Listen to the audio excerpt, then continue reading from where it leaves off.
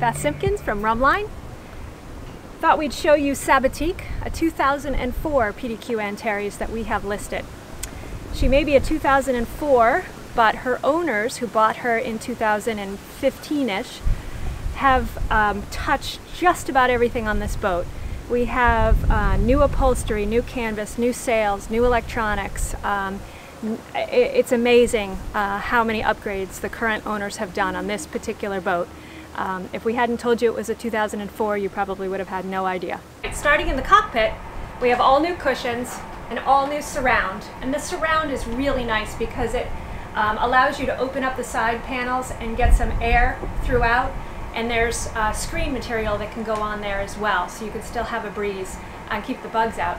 Um, they've done a nice job on their extended canvas to the arch, cushions on the back bench, They've gone overboard with the size of the grill, which is fantastic, and there's a life raft aboard. Moving up to the helm station, obviously they've got a full set of canvas uh, to protect everything. And these are the new electronics that they installed shortly after they bought the boat.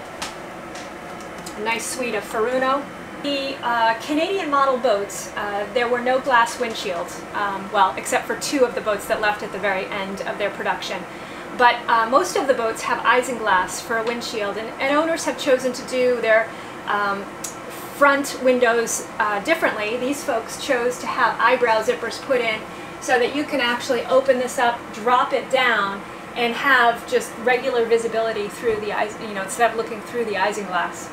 But yet if the weather is inclement, you can close it right back up and you're dry. For Deca Sabbatique, we noticed that the um, style of the main on this boat is your tried and true, fully battened uh, main that drops down into a sailbag.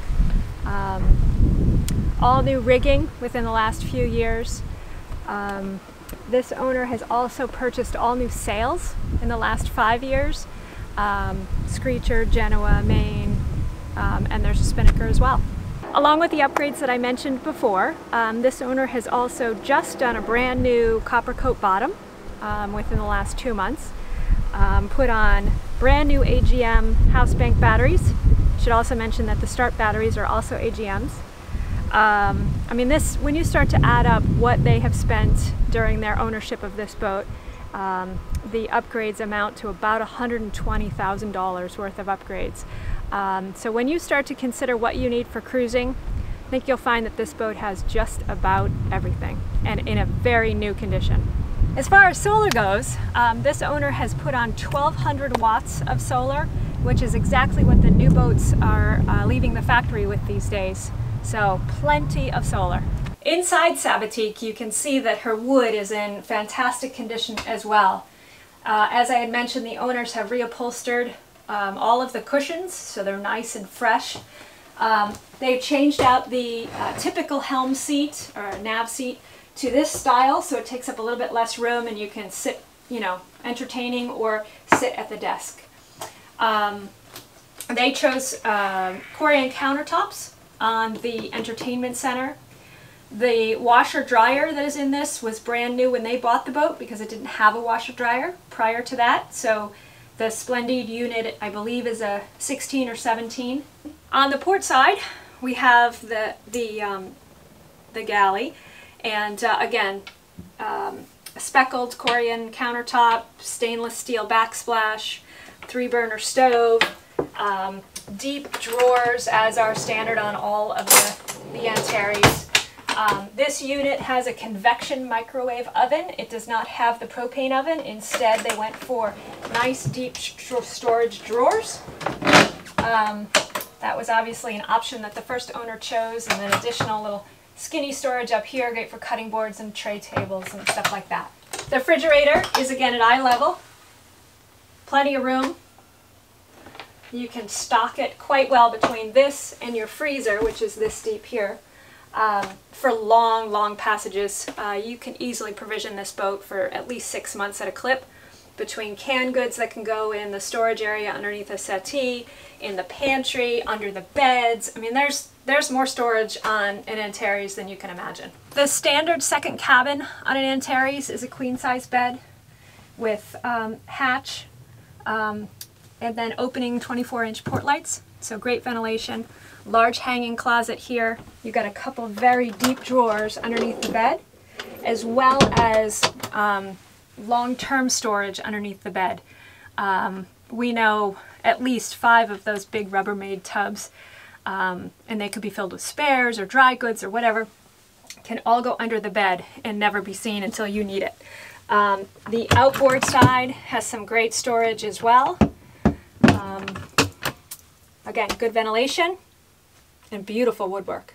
The third stateroom on Sabbatique is a little unique. Um, it has the office set up.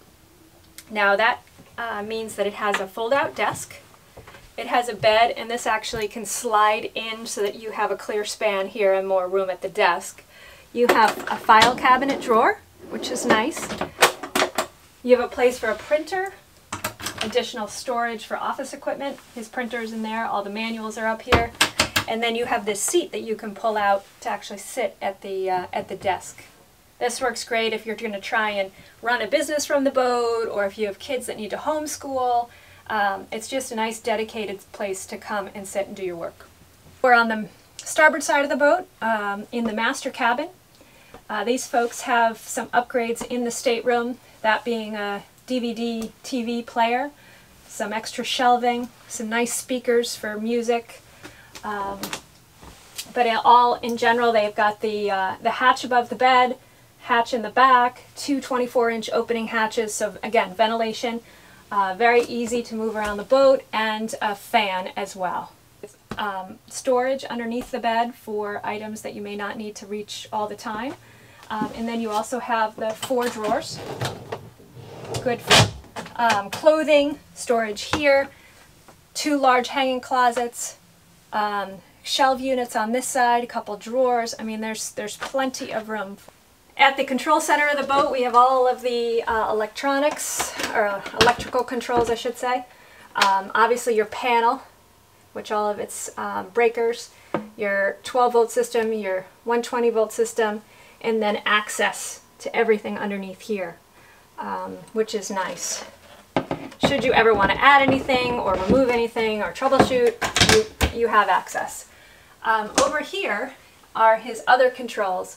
Now this boat has recently been upgraded uh, to a Victron 3000 watt inverter, which is what all the new Antares are getting when they leave the factory, so that's a nice upgrade. Um, AC unit, again there's three zones of AC on the Antares, one main one for the salon, one for this side, and one for the other side. And then these are all your tank watches for your fresh water, black water, um, and then your generator controls, and solar.